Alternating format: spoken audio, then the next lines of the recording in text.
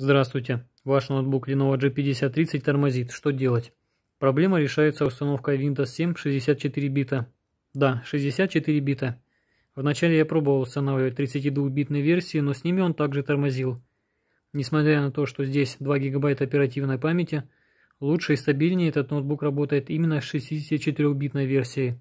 Давайте посмотрим, на что он способен. Зайдем в Google Chrome. Здесь Wi-Fi, поэтому интернет не слишком быстрый. Теперь зайдем в YouTube.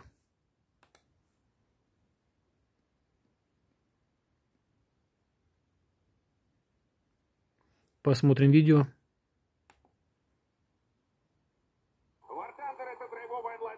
Хорошо. Зайдем в переводчик. Карты.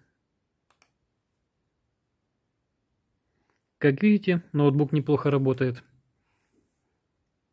Всем спасибо за внимание. Всего хорошего.